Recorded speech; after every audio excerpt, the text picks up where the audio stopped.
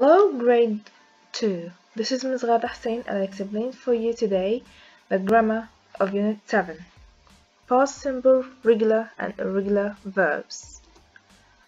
So, what is the simple past tense?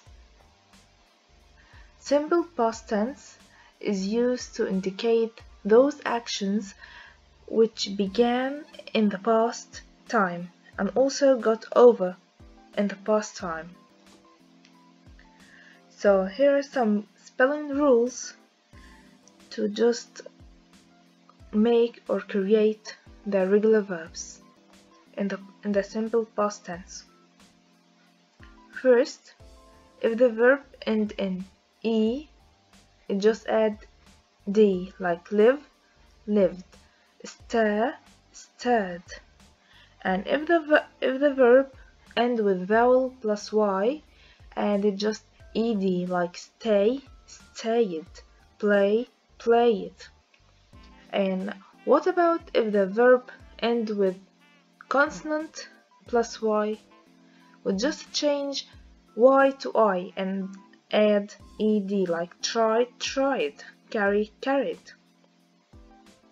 And if the verb is just one syllable, single vowel and end in single consonant so just double the final consonant and add ed like nod, nod nodded rep repped and what about if the verb is two syllable stress on the second syllable and end in single consonant? We just need to double the final consonant and add ed like commit committed prefer preferred here are some irregular verbs. Forget, forgot. Put, put. Shut, shut. Hit, hit. Go, went. Drink, drank. Buy, bought. Cut, cut. Fall, fell. Sell, sold. Lose, lost. Fight, fought. Send, sent, feel, felt, come, came, know, knew. And we have some examples here on the past simple tense. He hit the pole over the net yesterday.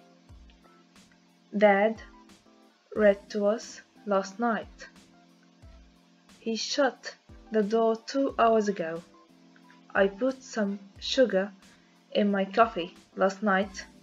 I lost my pen on the bus last Saturday. So here we finished. Thank you very much for listening and see you next time.